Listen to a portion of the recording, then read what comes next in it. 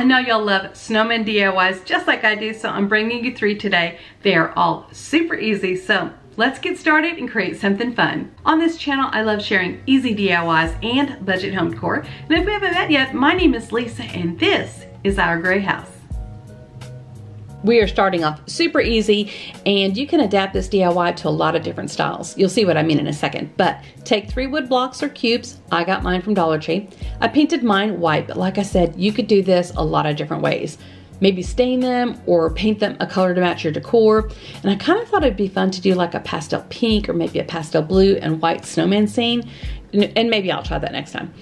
Oh, and we, as you notice, we do have company for this part, but I'm using some folk art paint and I know I've said this before, but this particular container is always thicker than the others. It's like pudding. And so I have to add water so it goes on better and I just paint all the sides.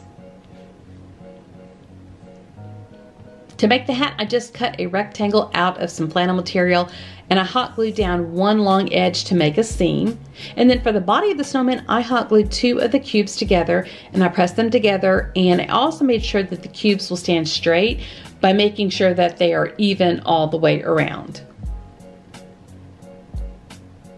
To finish the hat, I take the piece of fabric that I just glued one side of already and I glued that to the front of the snowman and then I glued all the way around the head until it basically made a circle and I did the next steps reverse so instead of tying it up like I did I used a piece of twine to do that but what I should have done was cut the fabric to make it like fringe and then tied it together. And you're probably saying, well, Lisa, why don't you just untie it? But I didn't think about that when I was doing it. So I did it the harder way. So learn from my mistakes and cut the fringe first and then tie it. I mean, it turns out it looks cute, but it just could have been easier to make.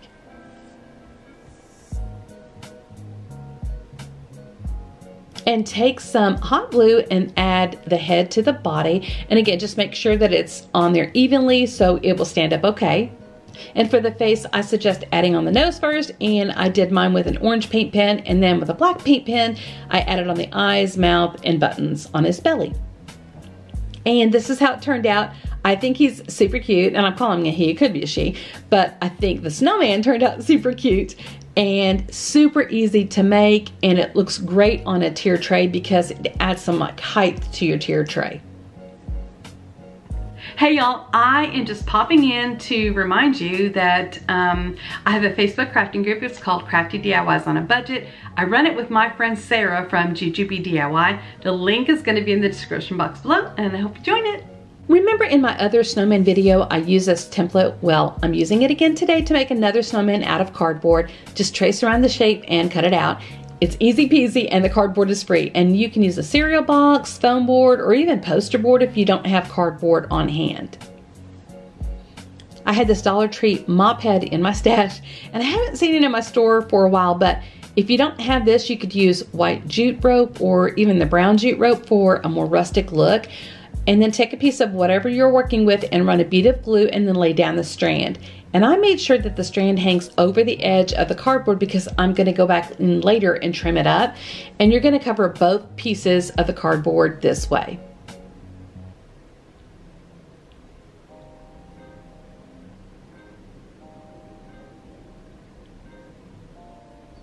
And once you've done that, go back with some sharp scissors and trim close to the edge of the cardboard, but don't trim right next to it. Give yourself just a little bit of wiggle room on this. It just seems to work out better when you do. And this mop head strands, they tend to want to unravel, kind of like that white nautical rope does. So that's why I say to give it a little bit of wiggle room so you can adjust it and add hot glue as needed later.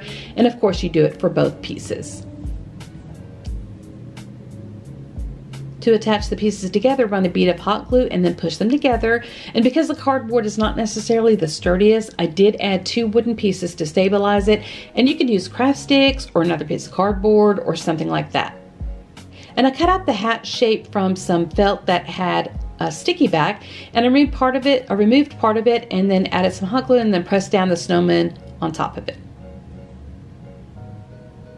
And I was to add a scarf and possibly the nose, eyes, and mouth, but I think it looks pretty cool just plain and rustic like this. And I thought you could add this to the center of a wreath or you could add it kind of like behind a tier tray to give it some additional depth behind the tier tray. Hey y'all, if you're enjoying this video, and hope you are, please consider subscribing to my channel and giving this video a thumbs up. It's a free way to support me and my channel and it helps YouTube to notice me just a little bit more. So that's it. Okay, back to the video. For DIY number three, I stained the front and back of this pallet wood circle with Waverly Wax in the color Antique. I just wiped it on and wiped it off with a damp scrap piece of cloth.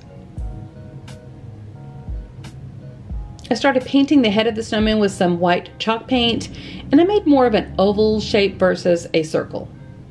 And for the body, I was gonna paint it as one piece, but I had already kind of sketched out where the scarf was gonna go, so I just painted the other parts of the lower body. And I'm painting the scarf red, but of course you can make it any color you want. And I just kind of feeling what I sketched out earlier. And I'm using Crimson from Waverly. And I often um, then I used paint to black paint to paint on the hat and you can make this multi-dimensional and add some felt for the hat if you want. And it's time to add dimension to the sign. And y'all know I'm not the best at painting but I'm trying to experiment and just using different colors to add highlights and shadows. And I've Use, I'm using some gray here to add some highlights on the hat, making it look like there are folds in the scarf. And I go back with more red paint and then I try some white paint and mixing the colors. You know, I'm just trying to create the effect that it's not just flat paint. You know what I mean? And I feel like by the time I was done, I had like a billion layers, but I think it still turned out pretty cute for me being a beginner painter. And um, yeah, and you don't even have to do this step, honestly, but it turns out cute. So this is how it turned out. I hung it in the middle of my grapevine wreath from Hobby Lobby that I added some Christmas greenery to that I also got from Hobby Lobby. And I wanna say this is really easy to make and you don't have to add the shadows or anything like that. It would still look super cute. And I did add the word hi that I cut out using my Cricut, but you could hand letter that on or use letter stickers. And I also added a bow with a little bit of greenery. And I wanted the bow to be more off center, but I don't think it quite got where I wanted it, but it's really easy to make and would make a nice gift. Thank y'all so much for watching my video today. Really do appreciate it. And um, please tell me which one is your favorite. If you tried any variations of this, let me know as well. And I hope you're having an awesome day. And I can't wait to see you in my next video. But don't forget, if you want to follow me on social media, like here on YouTube or over on Instagram or TikTok or something like that, my handle is Our Gray House. But just don't follow me in real life though, because that's creepy. Bye.